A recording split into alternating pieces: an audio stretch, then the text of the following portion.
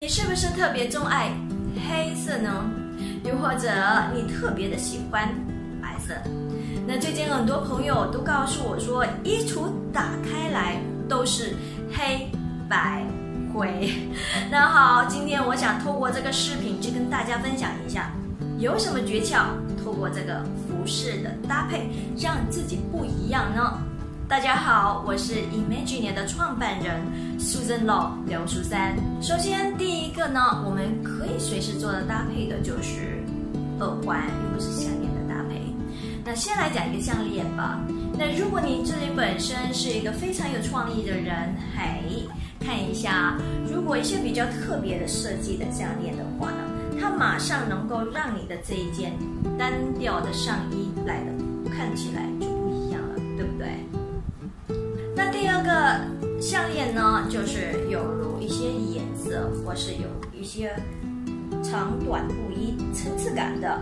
那这个呢，也可以给你带来不一样的一个视觉上的一些效果。那它也有另一番风味，对不对？呃，黑色还是来的单调一些，能不能够来一些鲜艳一点的？好，我们来看一下这一个吧。这一个呢，它同样。就是长短不一、有层次感的一一一条项链。那这样的话呢，是不是让你感觉不一样呢？但是呢，有些朋友他会认为之前的那三条项链对他来说都过于夸张了，能不能够有一些简单一点的呢？有，就打个比如，好像这条项链，好，它呢是一条非常，但是又精致又。高雅、高贵的一条项链，那我们来看一下，那这样是不是很高贵呢？那除了项链以外呢，当然耳环也是一个最好的搭配。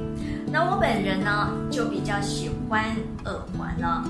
那很多时候我都把耳环成为我的焦点，所以呢，我有这么多不同颜色的一些耳环。那我个人也特别喜欢这些流苏，对。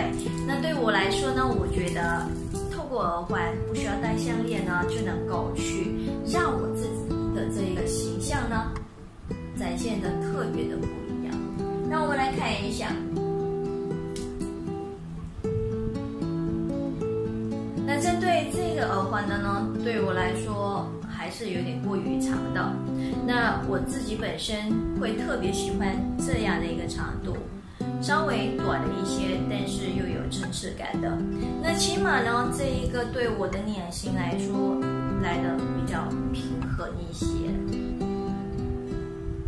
再来第三个呢，就是手表啦。那很多时候呢，大家就因为有一个比较安全的选择。那一般都会选择色或是银色的手表。那好，如果说你是超爱黑色的朋友的话呢，哎，手表呢，你可能会考虑一下有一些颜色的手表带。那这样衬托在你的这个服饰上的话呢，就不一样啦。再来呢，有些朋友会觉得说，哎，两手空空的话有点不舒服、不自在的。那当然，首饰。也是一个很好的搭配和选择，对不对？那么今天的视频呢，就到此为止了。